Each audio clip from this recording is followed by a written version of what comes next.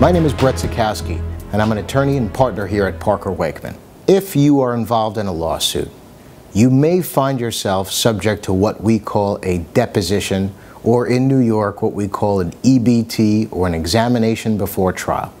Now, what is it? It is a period or a time for the attorneys for the other side to sit down with you in a room with a court reporter next to them to place you under oath to testify about what happened to you as well as all of your injuries and medical treatment.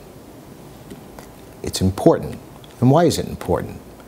Because what you say at your deposition can be used against you if your case does not resolve before trial.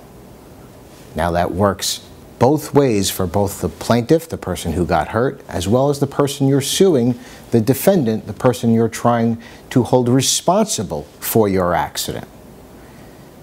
We, representing you, will have the opportunity to question the other party, the at-fault party at a deposition. And it's important to get good, straight answers from that party as to what happened and why we're going to hold that person responsible. At the trial, if, those, if the answers to those same questions that we are going to ask in front of the jury are different, it is a devastating technique at trial for the attorney for the opposing side to stand up, ask questions of that witness, get answers, and then read a deposition transcript that are totally in opposite to those answers if you've been involved in an accident and you're trying to hold someone responsible, remember that you're going to have to appear at a deposition and it is one of the most important things that you will have to do in terms of moving your case forward.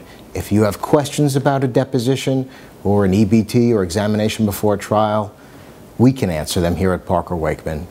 Again, my name is Brett Zekowski. Call us at the number below. Thank you.